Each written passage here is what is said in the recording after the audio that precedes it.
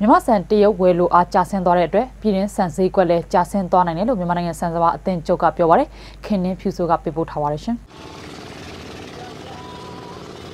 တရုတ်နိုင်ငံဘက်ကအခုလာလာစားမိုင်းကစပြီးနေဆက်လမ်းကြောင်းမှာအဖမ်းဆီးတွေရှိခဲ့တာရဲ့ထိုင်းနိုင်ငံကဆန်သေးတွေကိုဈေးနှုန်းချပြီးရောင်းချတာတွေကမြန်မာဆန်ကိုတရုတ်ကဝယ်လိုအားကျတာစီတဲ့အကြောင်းရင်းတွေဖြစ်တယ်လို့မြန်မာနိုင်ငံဆန်စပါအသင်းချုပ်က DVB ကိုပြောပါတယ်။သုံးရက်နေ့ကသူတို့ကဖမ်းဆီးရှိခဲ့တယ်လူပေါင်း90လောက်ကျွန်တော်တို့ဖမ်းတဲ့အကြောင်းမလို့ ဒီတရုတ်ပြည်ကဆန်စည်းကွက်အေးသွားတယ်ပေါ့။အေးသွားတဲ့နောက်ဆက်တွဲအနေနဲ့ကတော့ပြည်တွင်းဆန်စည်းရတယ်အေးလာပါတယ်။လက်ရှိကားတဲ့အနေနဲ့ပြောရင်တော့ဒါဟိုဆန်စည်းအဲ့ဖြစ်ပြီးတဲ့နောက်ပိုင်းမှာဆန်ချမ်းစည်းက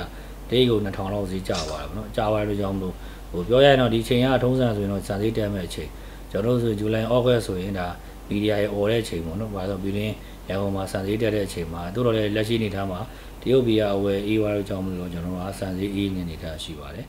အခုလိုတရုတ်ဘက်ကဝယ်လိုအားကျဆင်းသွားတဲ့အတွက်ပြည်ရင်းစံစည်းနှုန်းတွေလည်းလိုက်ကျဆင်းသွားတယ်လို့သူကဆက်ပြောပါတယ်။မိုးစဘာပုံမဲ့စက်တင်ဘာလနဲ့အောက်တိုဘာလတွေအထိအခုအချိန်အတိုင်းဆက်သွားရင်တော့ပြည်ရင်းစံစည်းကွက်ကိုထိခိုက်လာနိုင်ပါတယ်။ဒီလားတော့ပြဿနာမရှိဘူးဇူလိုင်ဩဂတ်ဆို။ဒါပေမဲ့ကျွန်တော်တို့ဆိုရင်တာဆက်သွားရေးစက်တင်ဘာအောက်တိုဘာလအထိဆက်သွားရင်တော့အဲ့ချိန်မှာကျွန်တော်တို့စီကမိုးစဘာပေါ်တာပေါ့နော်။မိုးစဘာပေါ်တဲ့ခါကျတော့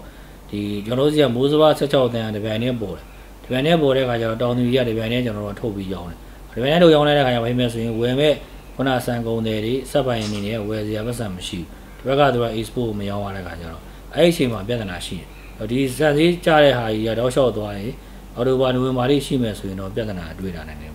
မြန်မာနိုင်ငံကနေတရုတ်နိုင်ငံကိုစံတင်ပို့မှုနှုန်းကတန်ချိန်အများဆုံးဖြစ်ပါတယ်။အရင်ကတရက်ကိုတန်ချိန်9000နီးပါးတင်ပို့ခဲ့ပြီးတစ်လကိုတန်ချိန်3သိန်းနီးပါးတင်ပို့ခဲ့ပါတယ်။အခုလလဆန်းပိုင်းမှာတော့တင်ပို့မှုရပ်ဆိုင်းတလောက်ဖြစ်သွားပြီးလက်ရှိအချိန်မှာတစ်လကိုတန်ချိန်2000ကျော်တင်ပို့နေဆဲဖြစ်ပါတယ်။ကျွန်မခင်င်းဖြူဆိုပါ။